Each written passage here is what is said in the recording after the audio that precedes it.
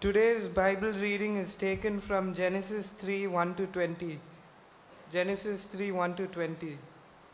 Now the serpent was more crafty than any of the wild animals the Lord God had made. He said to the woman, Did God really say, You must not eat from any tree in the garden? The woman said to the serpent, We may eat fruit from the trees in the garden, but God did say, You must not eat the fruit from the tree that is in the middle of the garden, and you must not touch it, or you will die. You will not surely die, the serpent said to the woman, for God knows that when you eat of it, your eyes will be opened, and you will be like God, knowing good and evil.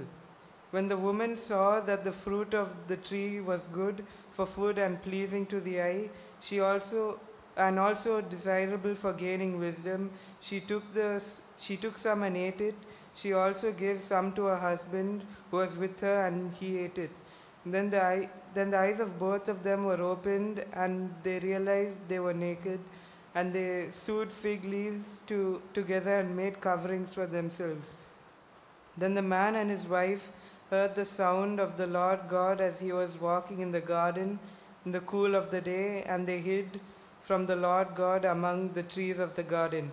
But the Lord God called to man, Where are you? He answered, I heard you in the garden, and I was afraid because I was naked, so I hid.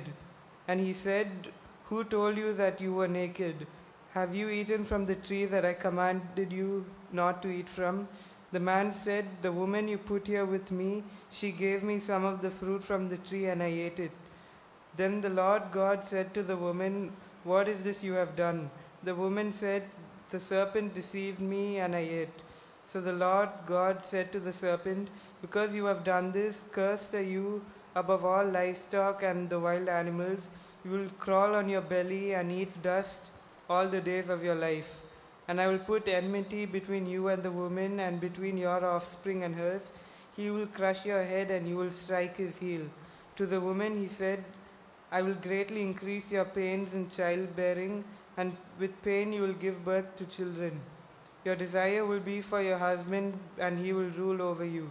To Adam he said, Because you listened to your wife and ate from the tree about which I commanded you, you, you must not eat it.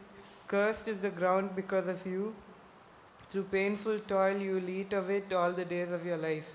It will produce thorns and thistles for you, and you will eat the plants of the field.